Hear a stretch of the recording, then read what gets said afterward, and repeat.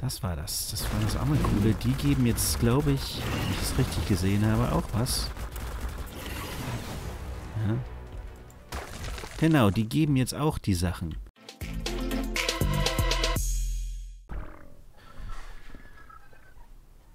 Hallo Leute, der Soriro hier.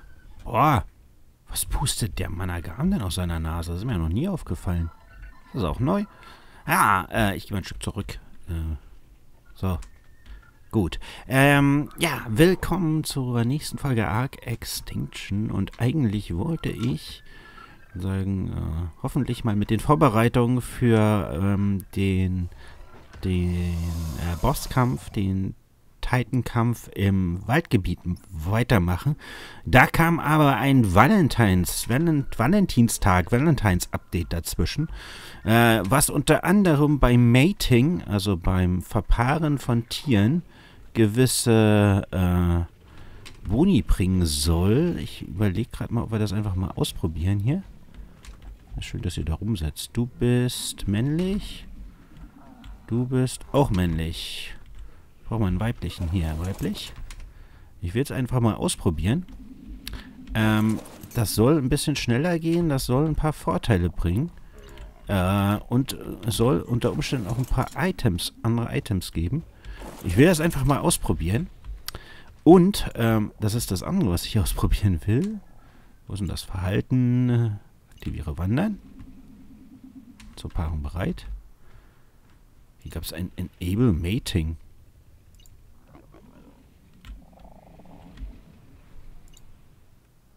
Gibt es jetzt ein Mating ohne Wandern? Das wäre ja ganz neu. Ähm, jedenfalls ähm, wurde gab es Fixes für den Managam, für Random Crashes, also zufällige Crashes. Und das will ich heute mal ausprobieren, ob das funktioniert. Ähm, außerdem soll irgendwie Mating, also so, es gibt so bei, bei Mating und bei der Babyaufzucht gibt es ganz viele ähm, Boosts und Sachen, die schneller gehen und so. Also da gibt es ganz vieles Verschiedenes. Guckt mal. Und dann lassen die zum Teil nämlich so ein äh, andere, andere Sachen fallen. Jetzt können wir mal kurz gucken, was das ist. Äh, das ist Valentine's Candy. Movement Speed plus 5% und irgendeine Färbung gibt es dann für einen Dinosaurier. Es gibt noch ein anderes. Ich warte mal, ich disable hier das mal erstmal wieder. So. Verhalten. Wandern deaktivieren. Okay, also anscheinend äh, muss man die nicht mehr auf Wandern stellen. Das ist auch ganz nett.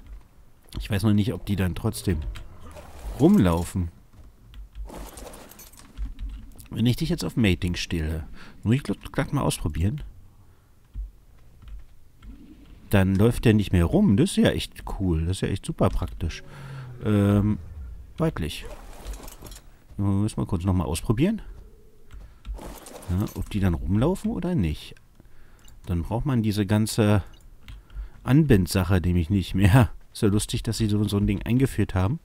Nö, paart sich und läuft nicht rum. Und der auch nicht. Das ist sehr cool. Ja, das ist sehr cool.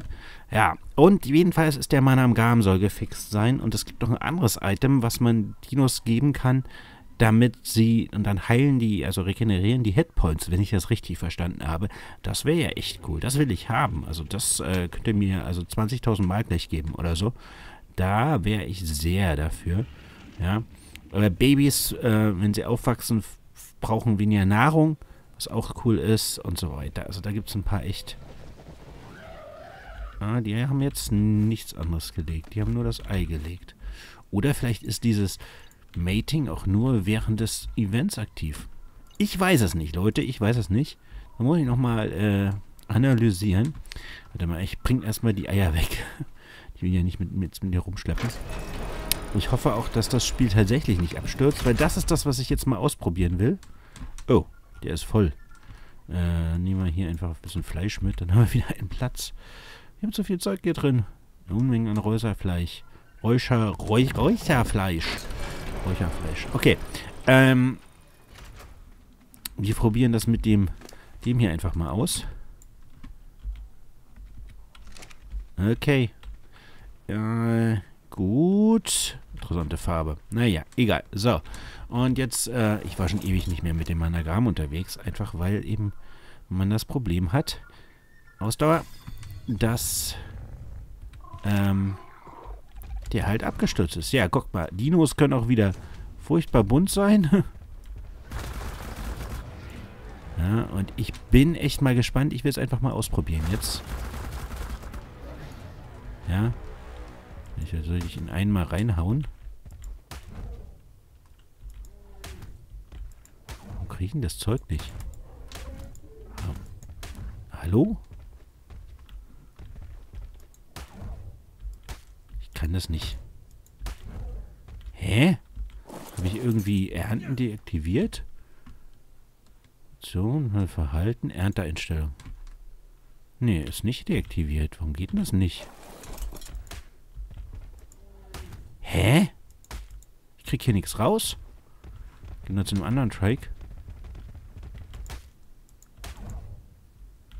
Weil, ich meine, der hat ja jetzt kein Fleisch drin. Ich hätte gerne ein bisschen Fleisch. Was ist denn das jetzt für ein Bug?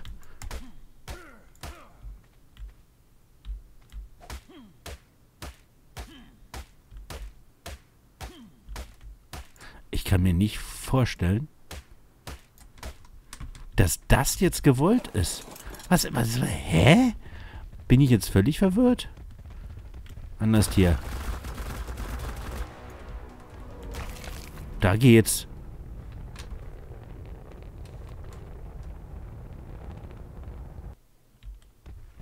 Gehen wir mal gucken, was das ist. Einer, warte mal, habe ich eigentlich noch... Ich habe zwei Villanosauren, drei Velos noch drin. Gehen wir kurz gucken, was das für einer ist. Wieso kann ich denn keine Trikes bei kein, keine Trikes mehr verspeisen, sozusagen? Das ist ja echt merkwürdig. Wirklich merkwürdig. So, jedenfalls möchte ich wirklich wissen, ob das jetzt mit dem...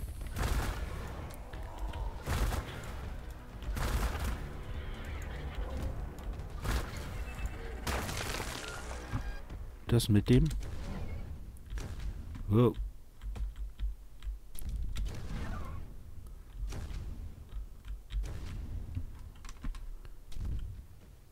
Das ist ein gelber. Ein gelber kann ich nur mit dem Managram nicht machen. Okay, schade. Ob ich, ob der noch abstürzt oder nicht. Wir werden es einfach mal ausprobieren. Nicht mit einem gelben Loot Drop, das wird nix.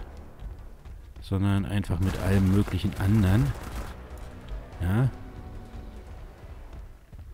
Überlege gerade, wo ich dazu am besten hingehe.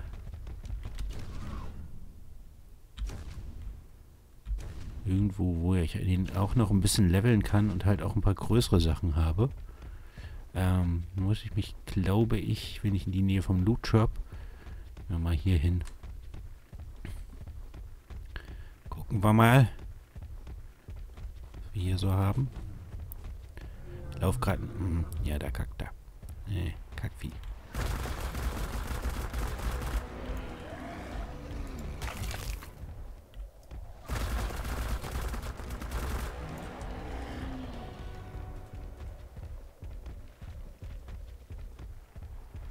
So.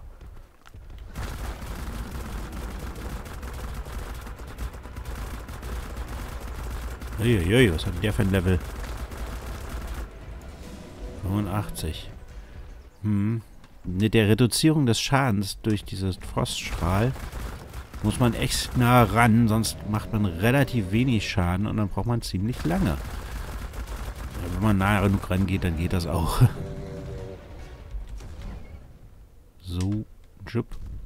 Nächster. So.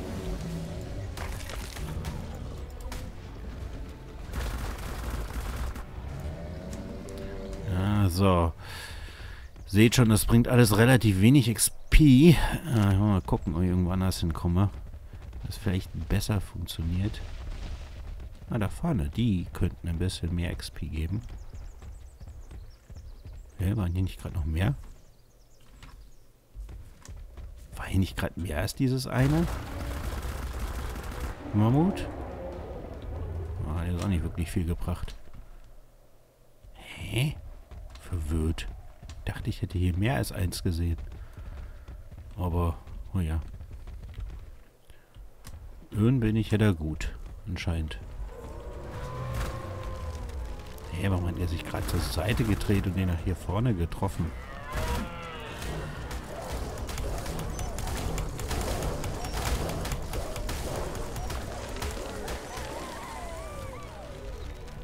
Es halt so. So.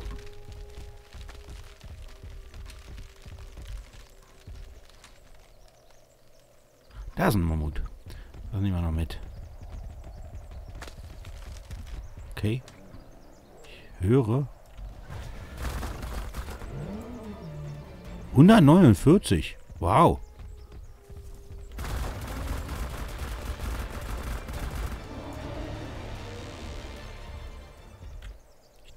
Hätte gerade einen anderen Monogramm gehört, aber ich sehe keinen.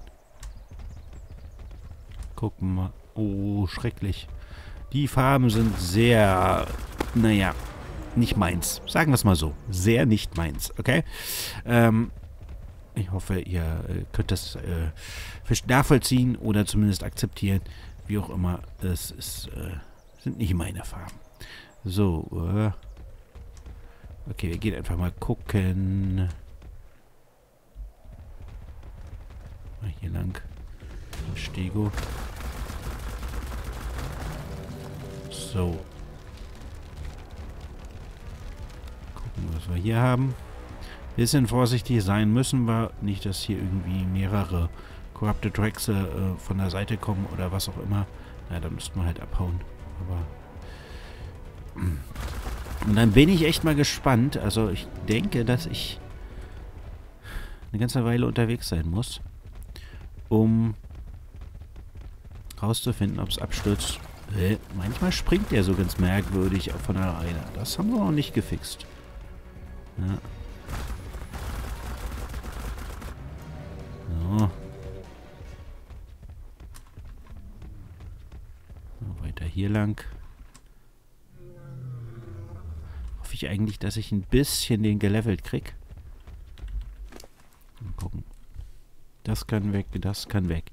Okay, Leute, ich denke mal, ich werde da jetzt noch so vielleicht 10 Minuten oder eine Viertelstunde hier unterwegs sein. Ähm, da mache ich jetzt aber erstmal eine Pause und dann sehen wir uns nach der Pause wieder. Dann geht es weiter.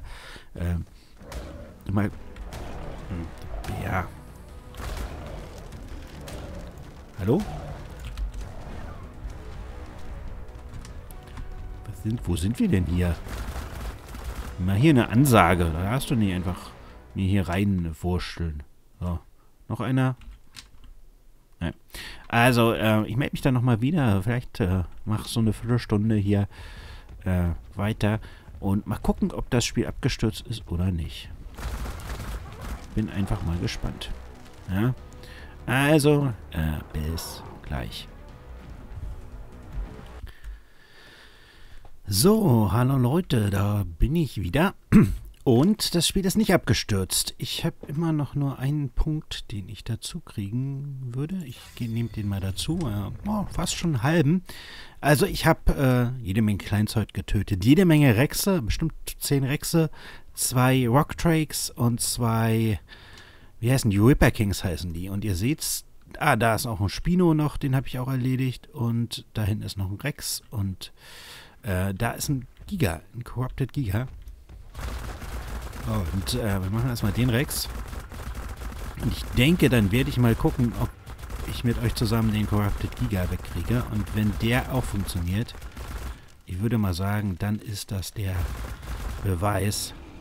So, der ist der Rex weg, dass ähm, das funktioniert.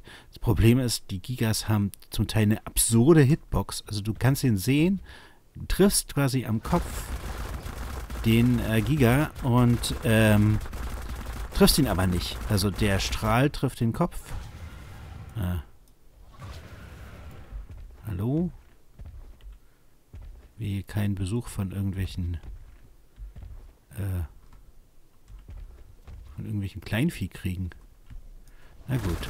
Hm, so, ich fürchte nur, ich mache ziemlich wenig Schaden. Das wird eine ganze Weile dauern. Bis ich den so aus der Entfernung hier weg habe. Dann haben wir jetzt gerade mal 2K gemacht. Dauert ein bisschen.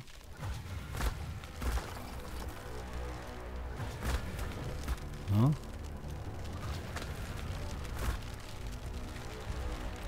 Hier das Kleinzeug wegmachen.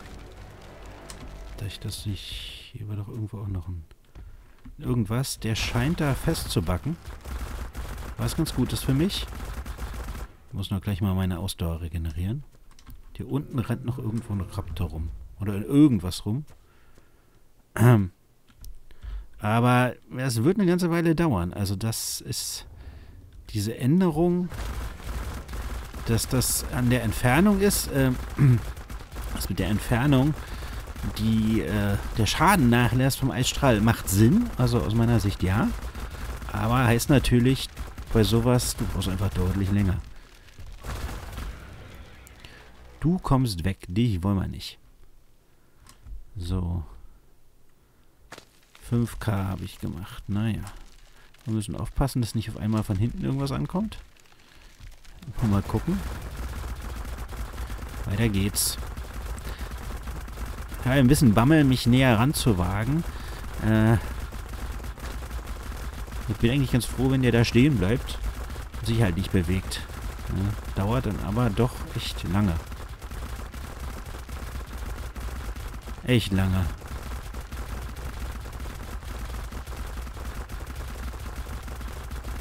Echt lange. Aber, das muss ich zumindest sagen, das Spiel ist noch nicht abgestürzt und darüber bin ich sehr froh. Und das finde ich sehr, sehr gut. Und ich hoffe auch, dass das so bleibt. Da liegen wir ein bisschen näher ran. Einfach ein bisschen mehr Schaden zu machen. Der scheint, ich weiß nicht, ob der da festklemmt oder sowas. Jetzt kommt der Stego da an und will mitmachen.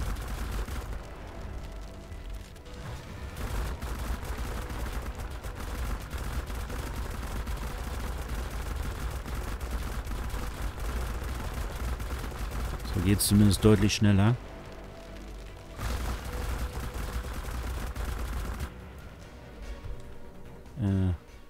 Also ich weiß nicht so genau, was, warum der, der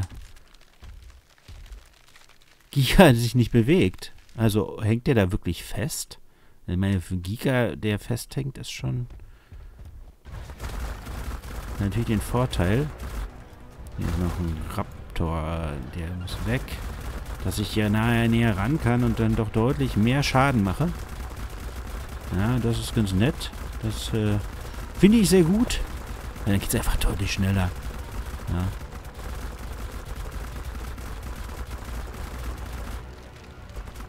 Oh. Jetzt gerade geruckelt, aber alles gut. Ja, alles gut. Das Spiel ist nicht abgestürzt. Daumen drücken. Ähm, eine Sache, die mir noch aufgefallen ist, in, oder die mir noch in den Patch Notes drin stand, ist, oh, ich habe gerade 104 Schaden mit einem Treffer gemacht, äh, dass ähm, Tech-Tiere jetzt äh, Metall und äh, irgendwas, Electronics oder sowas droppen. So, gleich müsste er weg sein, denke ich mal. Da ist er weg. Da Und wir haben ein Level Up. Da ist ein Rex. Hallo Rex. Kommst du? Na?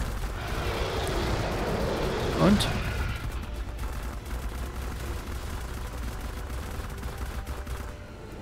So. Rex ist weg. Okay, gucken wir mal. Ein Level. So, damit haben wir fast 3000 ähm, Ausdauer. So, ich wollte mal gucken gehen, ob ich ein Tech-Tier finde. Ich habe bis jetzt tatsächlich noch keins gesehen, deswegen kann ich es noch nicht ausprobieren. Das ist auch nichts. Und äh, das wollte ich mal noch ausprobieren. Oder euch zeigen, wie auch immer. Ja, also alles uninteressant hier. Nix teckt hier.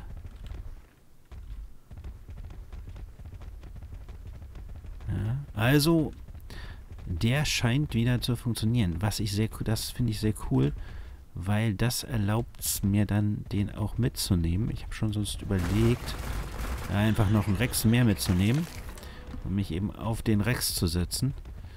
Aber so kann ich, glaube ich, den Managam hier nehmen im Titan-Fight. Ach ja, und die sollen jetzt auch was geben. Das war das. Das war das andere Coole. Die geben jetzt, glaube ich, wenn ich es richtig gesehen habe, auch was. Ja.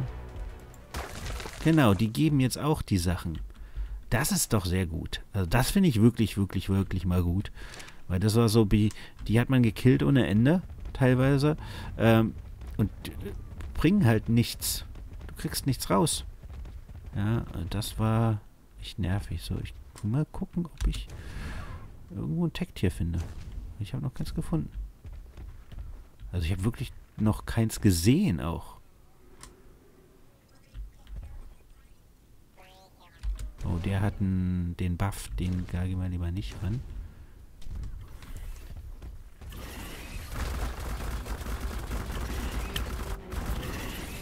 Irgendwas hat Akku auf mich? Ist nur der? Oder ist noch irgendwas anderes?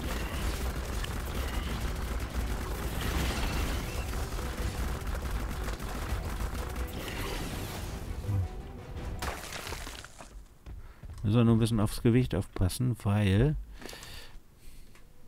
das Altmetall ist ganz schön schwer. Aber ich glaube, davon brauche ich gar nicht so viel. Der Rest ist viel interessanter. Ja.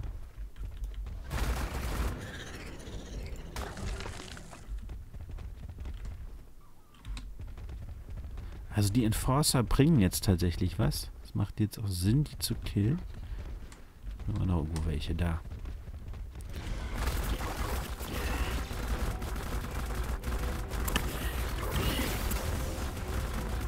Hey, Defense Unit heißen die hier.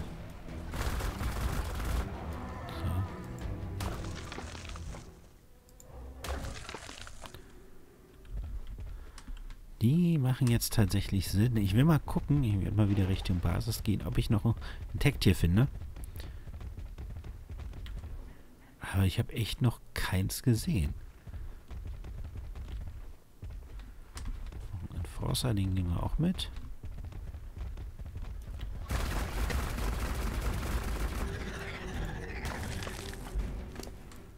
So, das schmeißen wir wieder raus. Öl haben wir eigentlich auch genug. Aber na gut. Bis jetzt habe ich eigentlich für, ich glaube, noch, noch nicht wirklich was Öl gebraucht. Und habe äh, durch die Gachas schon jede Menge. Reden die immer in Pan auf oder meistens? Oder wie ist das?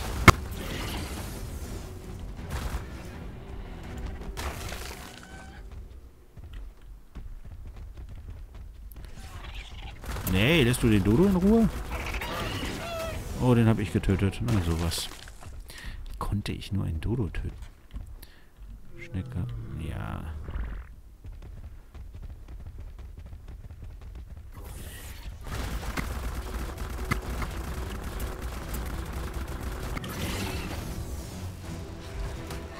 Wow.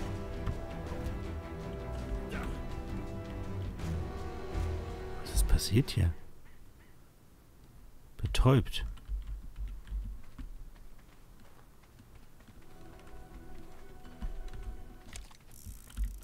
Ist denn mein Managam? Da ist mein Managam. Was war denn das für ein Viech? Interessant. Oh. Na gut, das ist harmlos. Was hat mich da eben runtergerupft? Hm. Gut, ähm... Das wird gerade schon eine ganz schön lange Folge, glaube ich.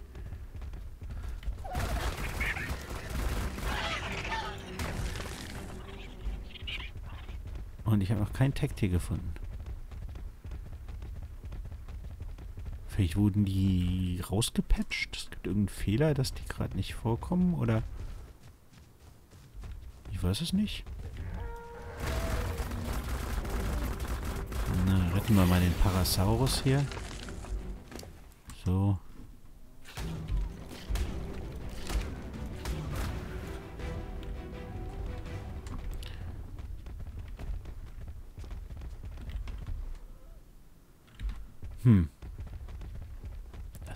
Normalerweise sieht man doch immer irgendwo irgendwelche Tech-Tiere. Aber diesmal nicht.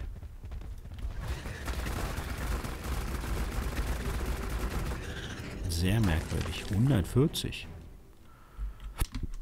Dann nehme ich mal den, den Bauplan mit. Das ist ja ein überragender Bauplan. Den nehmen wir mal mit. Der braucht nur, brauchen wir 13.000, 1300 und Öl jede Menge. So, das droppen wir wieder. Okay. Hm. Also ich wollte euch das mit einem Tech-Tier zeigen und ich finde keins. Mal rausgucken, ob es vielleicht draußen eins gibt.